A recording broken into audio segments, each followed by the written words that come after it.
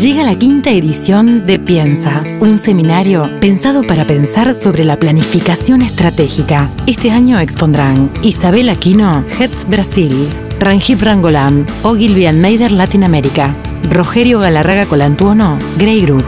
Piensa 2017, jueves 14 de septiembre. Kibon Avanza. Informes y reservas 2400 6065. Organiza Círculo Uruguayo de la Publicidad.